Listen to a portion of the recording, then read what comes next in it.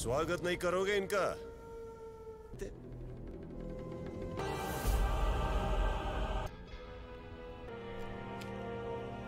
कि मारेंगे भी हम और बचाएँगे भी हम।